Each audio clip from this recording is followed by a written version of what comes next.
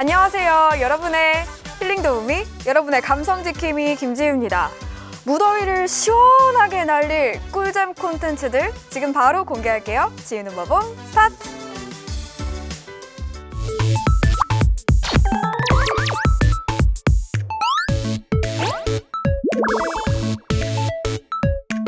파격 변신을 보여준 두 배우가 있습니다. 기존의 빌런 이미지를 벗고 시원한 웃음을 예고한 이성민, 이희준 씨인데요. 두 사람이 의기투합한 코믹극 핸섬 가이즈가 드디어 베일을 벗었습니다. 임자 옆에는 내가 있잖아.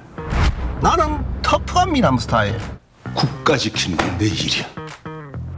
니는 섹시한 미남 스타일. 핸섬 가이즈는 평화로운 전원 생활을 꿈꾸던 제필과 상구가 하필이면 귀신 들린 집으로 이사를 오게 되면서 벌어지는 이야기를 담은 고자극 오싹 코미디극인데요. 저거 미나 맞지? 뭐 납치? 빨리 이거 오면서 해봐라.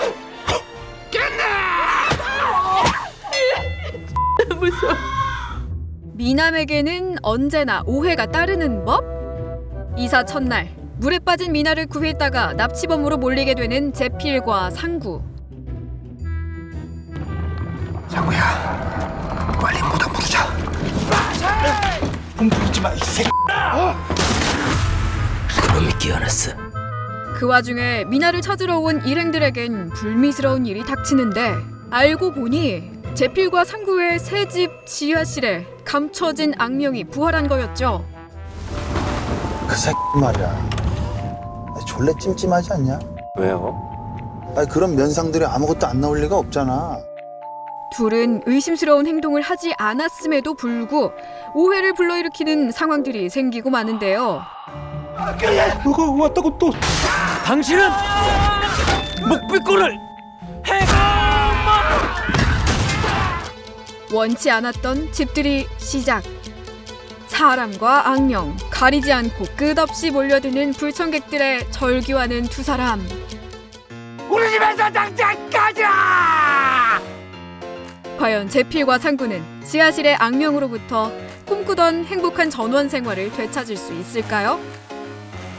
야, 우린 스타일이 다르지. 마, 네가 얼마나 잘생긴데 영화 배우 뺨친다 이 자식아. 그래도 형님만큼 미남은 아니다 니가 배꼽 잡게 하는 코믹 연기에 신선한 비주얼 충격 추가. 이성민 씨의 특이한 꽁지머리와 이희준 씨의 부항 자국은 관객들에게 더욱 친근하게 다가왔는데요.